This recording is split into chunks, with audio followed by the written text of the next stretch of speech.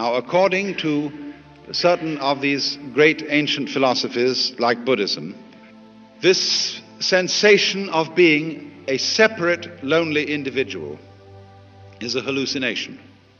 It's a hallucination brought about by various causes, the way we are brought up, uh, being the chief of them, of course.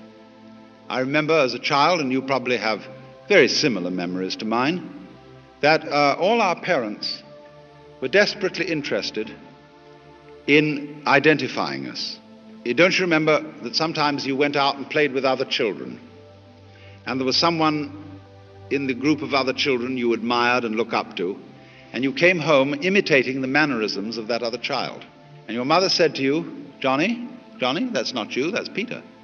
And you felt a little bit ashamed because somehow you had let her down